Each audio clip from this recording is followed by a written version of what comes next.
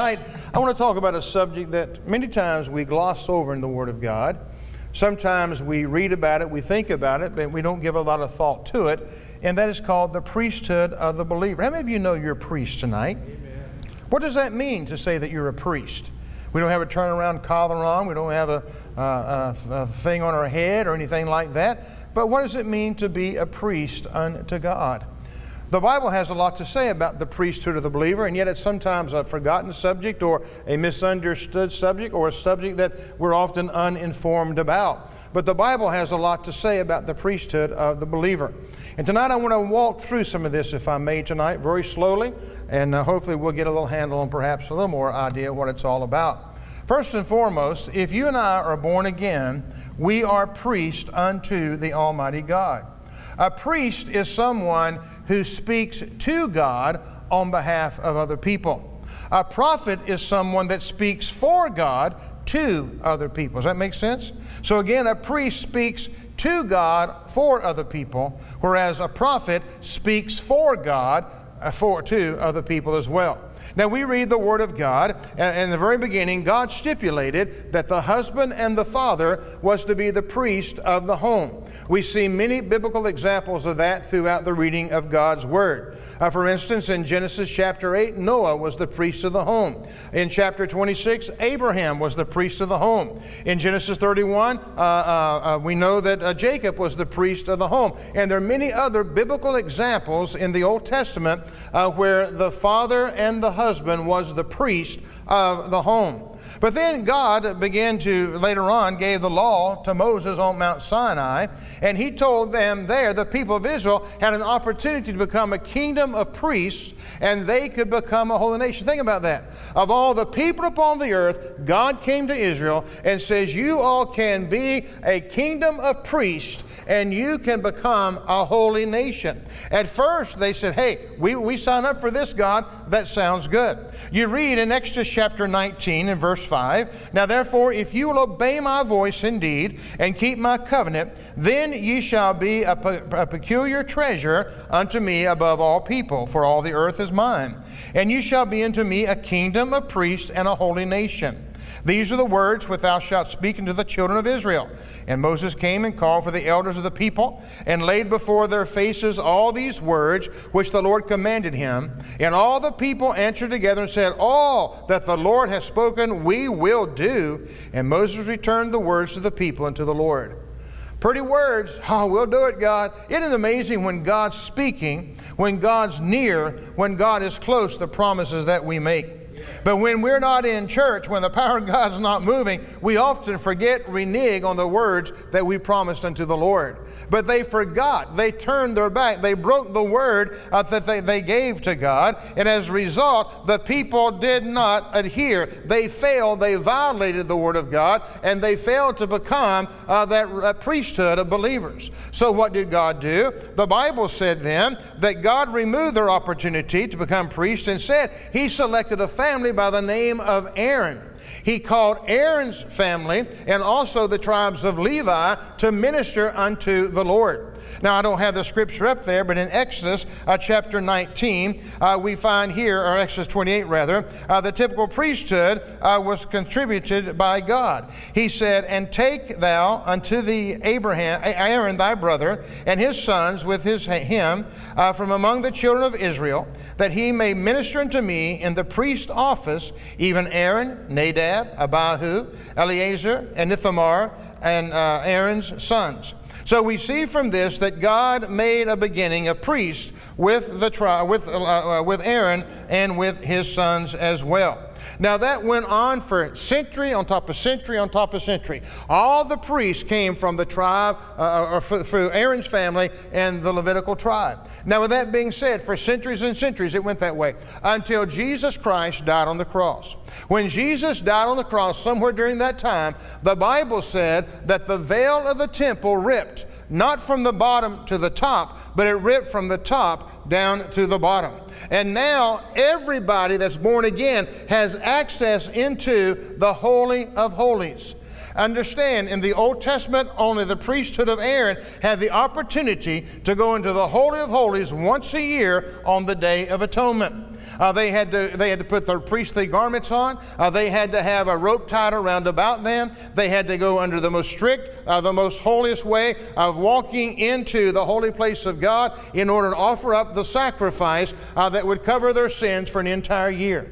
But when Jesus died on that cross, that veil that separated the holy place from the Holy of Holies was ripped in two, and now they were able to walk in. So once again, we see from this uh, that the sacrifice of Jesus rent that veil, and from that moment, every believer, every believer became a select group of priests unto our God. Every believer is a priest, a part of a royal priesthood, the Bible said. When a person accepts Jesus Christ, you become a priest unto God. Now, you and I can go directly to the very throne room of God ourselves. I'm not trying to dish on anybody else's religion, but friend, I don't need to go to some confessional and confess my sin uh, to some man when I can go before the throne of God and like I own the place and tell and pour my heart out to Him uh, in times of prayer. Today we have an opportunity to do what the nation of Israel failed to do, and we have opportunity to do uh, only what the, the sons of Aaron was able to do uh, within the Old Testament. Thank God for that. Now, Christians are priests. The word's indicative of a privilege in having access to God in the name of Jesus Christ.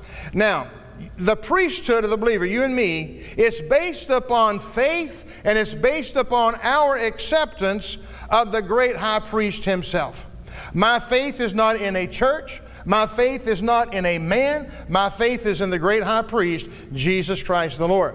So we are priests by, by faith in him and by accepting uh, him as the priesthood. No man puts us in the priesthood. We can't buy our way into the priesthood. Uh, no man can sanction us, no church uh, can sanction us tonight. Thank God uh, we cannot be placed there by church pronouncement, but the fact that we have been born again.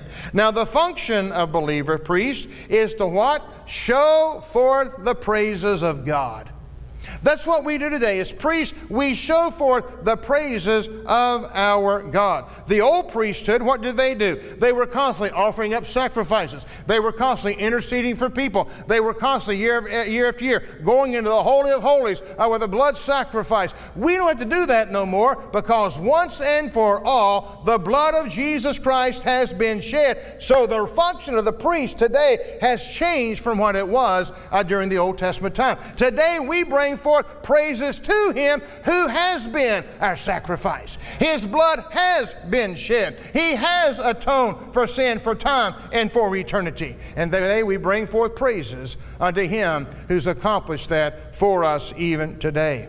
Every believer has the responsibility of the priestly function of teaching, of praising, and of witnessing. Now, if you look in the Old Testament, which I know you have many times, in the temple and in the tabernacle, of all the articles of furniture that was there, there was never a chair. Because the priest never, ever finished his job. He was never able to sit down. He was constantly going in through the laver, constantly offering sacrifice, constantly going to the table of shewbread, constantly going to the altar of incense, constantly going here, constantly going there. But today, Jesus, our high priest, has sat down at the right hand of God the Father. Why? His work is done. There's nothing that can be added to his blood, and thank God there's nothing that justifiably can be taken away from it. The blood that he shed 2,000 years ago, it satisfied God's righteousness. It satisfied God's wholeness. And bless God, it better satisfy you and me because we have peace with God through the shed blood of Jesus Christ our Lord. And today, Jesus has sat down set down at the right hand of God the Father. Which means that no matter, friends, what goes on in your life or mine, it's already settled in heaven. God has a made up mind. The work is complete, it's finished, and He has set down. But that doesn't mean He sat down on the job, for He ever lives to make intercession for the saints of God. He is our great high priest interceding for us. What was he told Peter before he was crucified? He said, Peter, Satan had desired to sift you as wheat, but I pray for you. Yeah. And today, Jesus Christ ever lives to pray for you. Amen. Friends, we got Jesus in heaven praying for us. We have the Holy Spirit praying through us. We have the Word of God to stand on. Now, what's our problem? Think about it. What's our problem? We've got Jesus in heaven praying for us. We have the Holy Spirit of God living in us, praying through us, and we have the promises of God to stand upon. We've got more today than any Old Testament saint ever had. We've got a better covenant. We've got a better Savior. We've got a better promise. We've got everything better than the old covenant ever had. And today, you and I are a holy priesthood. We are a royal priesthood unto our God. Now, what's the foundation of the Christian priesthood? Well, first of all, the living stone. The priesthood of the believer is based upon a living stone, which is who? Jesus Christ. Uh, in uh, 1 Peter 2 4, to whom coming as into a living stone, disallowed indeed of men, but chosen of God and precious. The Apostle Peter had good cause to use this term living stone. Why? Because you're reading the Word of God. He'd been the one to express his confession of faith in Jesus Christ. You remember uh, in Matthew 16. They come into the coast, and Jesus came to Caesarea Philippi. He said, The Disciples, who do men say that I, the Son of Man, am? Or some say you're Elias or Jeremiah or one of the prophets, but who do you say I am? And Peter said, Oh, you're Christ, the Son of the living God. That's the highest revelation any individual can ever come to. He's Christ, the Son of the living God. He said, But who, and I, thou art Christ, the Son of the living God. Jesus responded to Peter's confession Thou art Peter, and upon this rock, Christ, I will build my church, and the gates of hell shall not prevail against it. So, the foundation of the church of God and practical Christianity was found the conversation between Jesus and Peter himself. Peter alludes to the rock more times than one. Also, he's the living God. He said, Thou art Christ, the Son of the living God. So the foundation of the Christian priesthood is solid. It's built on a living God and the living stone. Are you with me? Based on the living God and the living stone. Now, the living God's foundation is sound and sure. Again, look at Isaiah 28 in verse 16. Therefore, the saith the Lord God, Behold, I lay in Zion for a foundation a stone, a tried stone, a precious cornerstone, a sure foundation. He that believeth shall not make haste. The same statement is quoted in 1 Peter chapter 2 and verse 6. God has laid the foundation. The foundation is his son, Jesus Christ the Lord. Now, what about living stones? The life of Christ, the Son of the living God, it flows from him into every one of us that receives him. Notice again 1 Peter 2 5. I read it just a moment ago. Again, he says, Ye also are living stones, are built up a spiritual house, a holy priesthood, to offer up spiritual sacrifices acceptable to God by Jesus Christ. All believers, we build our lives upon the living stone, Jesus Christ. And we are living stones ourselves because we partake of what the risen Christ has done for us. Now, friends, this is more than some type of, uh, some type of metaphor. We draw our strength, we draw our peace, we draw our joy, we draw everything we have from the person of Jesus Christ the Lord. Everything.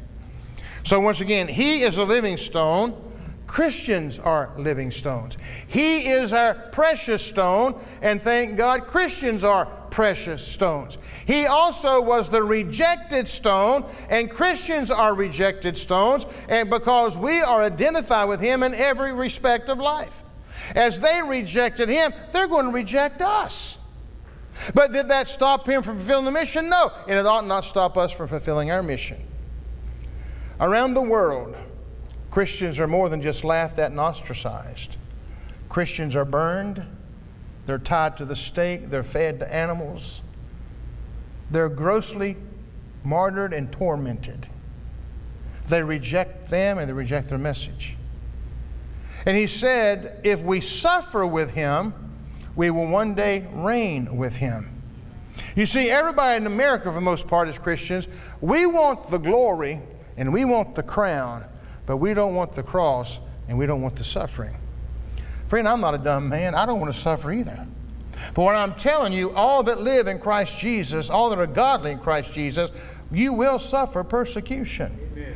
And what I'm trying to say is we better make sure we are hooked up, tied up, and tied into the living God and the living stone so that we will be living stones and not just some rolling stone rolling away into oblivion when persecution comes. Does that make sense?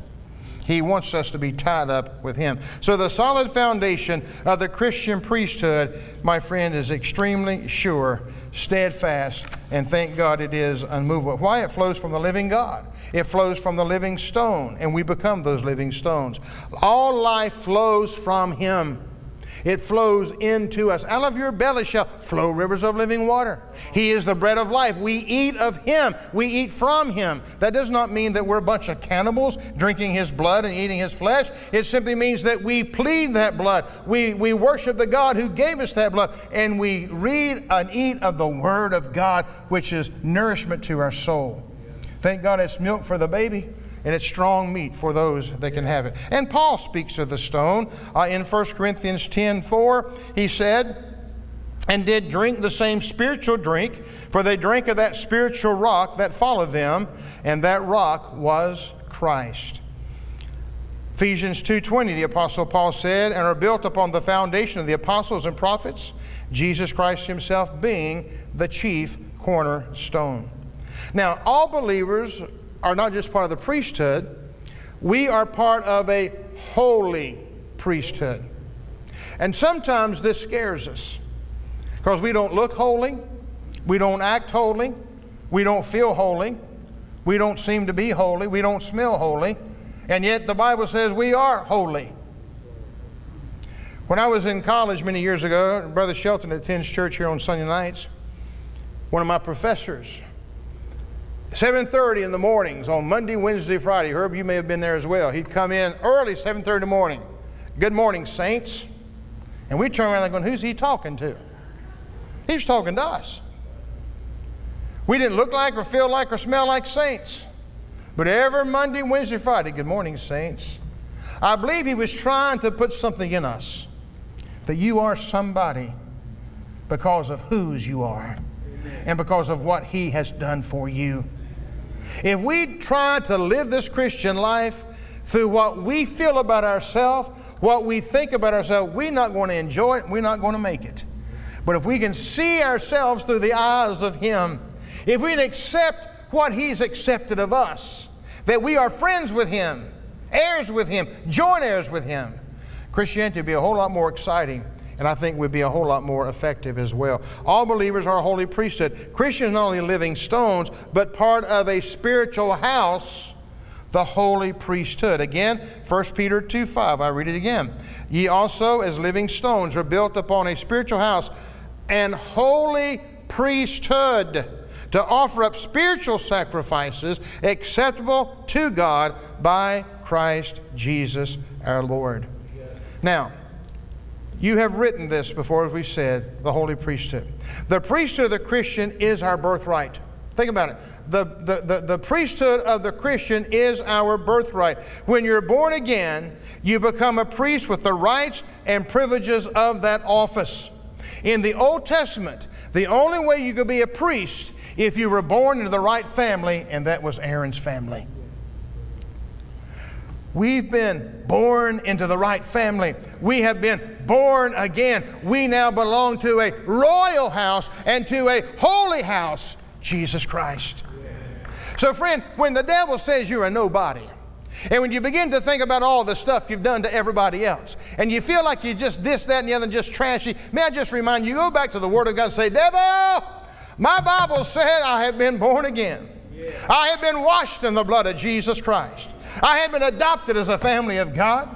I am not only a priest unto God, I am a holy priest unto God, and I am part of a royal family. I'm a royal priest to God. Now take that down, your ugly mouth, and swallow it.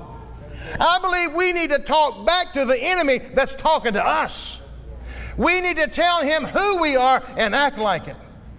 Now, to be holy and be royal, I think is a responsibility. Remember, the Old Testament, to be a holy royal priesthood, they had to do things the right way.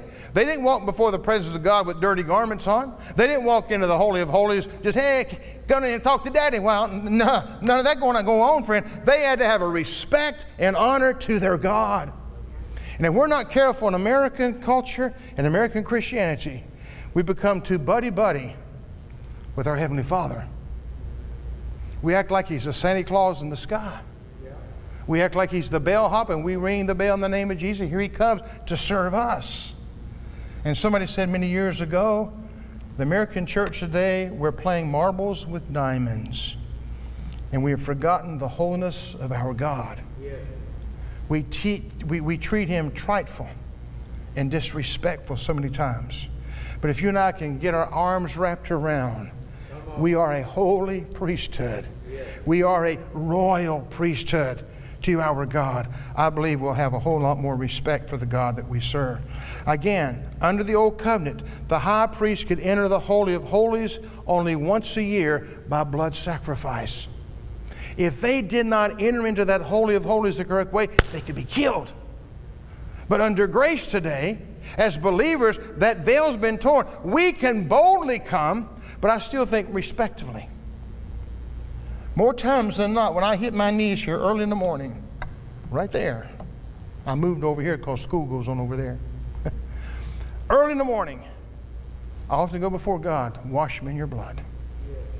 Get my attitude where it belongs, God. Let me bring my thoughts into your captivity. I'm nothing in me at all that can approach you, but through the blood of your Son, through the sanctifying power of your word, see the blood of your Son as I come to you. And I tell you what, friends, you put yourself in the right attitude of prayer, it's amazing what God will do. In Hebrews 9 27, but into, the, but into the second went the high priest alone once a year, not without blood, which he offered for himself, for he and for the errors of the people. Again, to become a priest, there must be a high priest. In order for us to be a priest, there must be a high priest. Peter used the term a holy priesthood because in the Old Testament, what it meant to be holy to go before the Lord. And we are a holy people coming before a holy Lord. In Hebrews 9:11 the Bible tells us, but Christ can't come a high priest of good things to come by a greater and more perfect tabernacle not made with hands, that is say, not of this building there was a requirement of one qualified to be a high priest, and Jesus is the only one qualified. Amen. Seeing then that we have a great high priest that's passed the heaven, Jesus, the Son of God, let us hold fast our profession. In the Old Testament, Aaron had to offer up a sacrifice for his sins and the sins of the people. But our high priest, he never sinned. The blood he shed was not for him, the blood he shed is for me. The blood he shed is for us. Thank God for the high priest. Let me hasten on tonight, if I may. Notice also, if you will, the Christian priest is a member of a chosen generation. The first thought is this Is Peter talking about Israel? People say, well, it seems like he's talking about Israel here. But if you read 1 Peter 1 and 2 Peter 2 1 through 3, you, you got the answer. In 1 Peter 1 9, he said, But ye are a chosen generation. That means we as believers, we have become the elect of God. Here we refer you back to the fact that he has chosen us in Christ Jesus the Lord. Friend, I've been elected in the kingdom of God. Praise the Lord. Again, the believers are royal priesthood. Again, in 1 Peter 2 9, uh, and, and, and, he says here uh, that. Uh, but ye are a chosen generation, a royal priesthood, a holy nation, a peculiar people, that you should show forth praises of him who hath called you out of darkness into his marvelous light. Now, as holy priests, we draw nigh to God and we present praises unto our God. Friends, you and I don't praise God when we feel like it. We don't praise God just when the music's going. We don't praise God just when we come to church. Every day of our life, I love the new song we're singing. Day and night, night and day, let worship arise. Don't you love that? Day and night, night and day. I wake up in the middle of the night, day and night, night and day. Makes you wish you could sing, you know? But I made up my mind years ago I've got a crow voice, and God's going to hear this crow croak. That's how it goes. God's got some beautiful birds that sing. He's got these old crows that just quack, quack, and I want to quack, quack my way into glory by the grace of God. As royal priests, believers go forth in every aspect of life to show forth the virtues and the graces of God. Now, the apostle does not say you ought to be royal priests. He says here in the Word of God, you are a royal priesthood. You are a royal priesthood. Notice, if you will, the term holy means actually means in the Greek people. You are a holy people. We serve a holy God. We read a holy Bible. We've been filled with the Holy Spirit. We are to be a holy people. We are going to a holy place. We worship a holy God. And everything about us ought to be holiness. Now, we get it confused in culture today, many, especially the mountain culture I'm from. We often in the mountains think you've got to dress a certain way to be holy. I've seen a lot of men that wear nothing but black suits, blue suits, white shirts with black and blue, black ties and, and, and, and blue ties. I've seen women that wear plain dresses with their hair up high, their long hair up to here, dragging the ground, no makeup. And let me tell you, some barns need painting, let's just be honest. And I've just seen people, they just dress a certain way and they think that's holy. It's not, it's tradition. Jesus told, I'm not, I'm not dishing it, don't misunderstand. What I am saying, if that's what we think holiness is, it's not. There's, there's holiness in every generation. There's modesty in every generation, too, by the way. But what I guess I'm trying to say, Jesus said, outwardly, it's whitewashed sepulchres. But on the inside, it can be full of dead men's bones. And sometimes we can dress the talk of holiness but only God knows what's going on on the inside. I remember many years ago, perhaps you've heard me tell the story, but there was a young man that graduated Bible college. He went back to one of those churches up in the mountains, and it was one of the holiness churches, the way they dressed, you know, just dressed holy. And they were very proud of him. He walks into church that day with a loud shirt, polka dotted tie, and a real loud sport coat, sporting rings and gold watches bracelet on this side. I mean, they like sucked everybody the oxygen right out of that building. He walked in. And after the service was over with, the old lady came up to him. She said, Son, I enjoyed your sermon, but I want you to know right now your tie offended me dearly. He said, Sister, if you'd see my underwear, you'd probably backslide.